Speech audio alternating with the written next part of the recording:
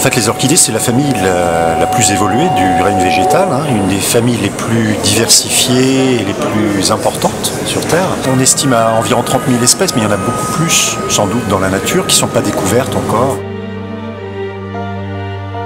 Après, l'homme est intervenu depuis euh, des décennies, hein, euh, depuis les, la mise au point de méthodes de culture de plus en plus perfectionnées.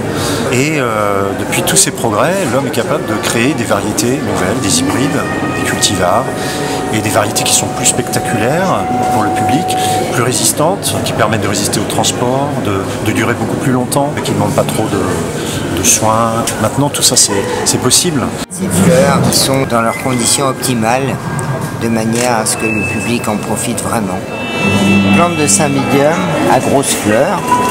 Et euh, bon, ce qui me fait plaisir, c'est que ce sont des plantes que nous avons livrées il y a deux ans pour l'exposition ici et qu'on les voit refleurir superbement et elles sont cultivées par le muséum. On voit bien la différence de, de, toute cette profusion de couleurs et de formes. Je suis en fait tombé dedans quand j'étais tout petit. C'était, c'était pas un héritage forcé, mais euh, on y prend goût. Et euh, c'est vrai que c'est une passion qui ne s'estompe jamais et qui est illimitée dans le temps, comme les orchidées.